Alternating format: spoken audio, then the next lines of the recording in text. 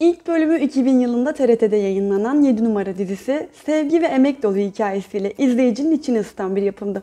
Dizide üniversite eğitimi almak için çeşitli yörelerden gelmiş 4 şehirli kız ve 2 taşralı erkek öğrencinin farklılıkları yer alıyordu. Peki efsaneye dönüşen 7 numaranın karakterlerine can veren oyuncular bugün ne halde? İşte 7 numaranın efsane oyuncularının zaman içindeki dönüşümü.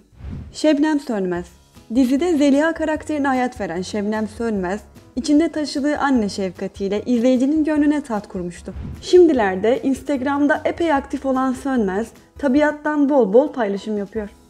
Engin Alkan Hikayenin babacan karakteri Vahit'e hayat veren Engin Alkan da epey değişen isimlerden.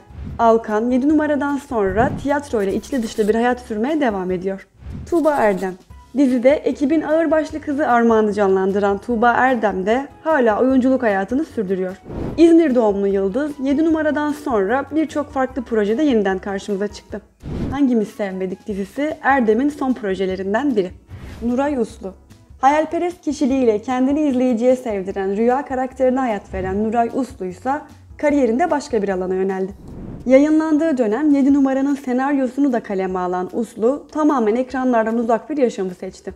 Uslu şimdilerde oyunculuğu tamamen bırakıp senaristliğe yönelmiş durumda. Aşk Laftan Anlamaz ve Kocamın Ailesi gibi dizilerin senaryosu Uslu'nun kaleminden çıkma. Ayça Mutlugil Dizinin hırçın kızı Ayten'i canlandıran Ayça Mutlugil de zamana direnen isimlerden.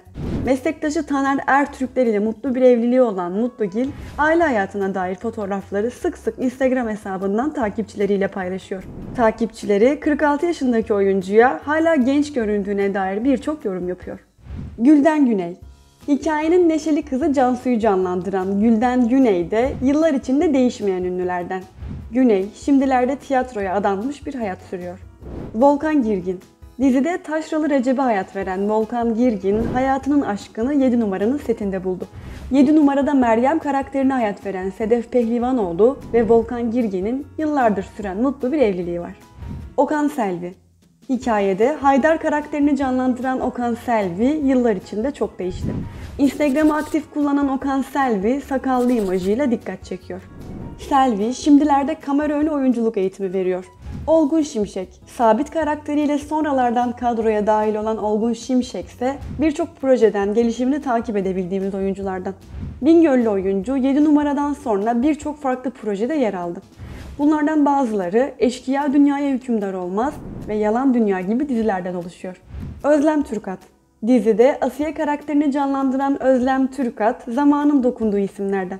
80'ler dizisindeki performansıyla akıllara kazınan Türkat, bir dönem aldığı kilolar nedeniyle çok konuşulmuştu.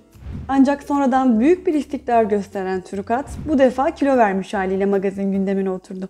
Aşkın Şenol 7 numaranın Berat'ına hayat veren Aşkın Şenol da Özlem Türkat gibi 80'ler kadrosunda yer alan oyunculardan. Şenol'un da dizinin diğer oyuncuları gibi tiyatroya adanmış bir ömrü olduğunu söyleyebiliriz.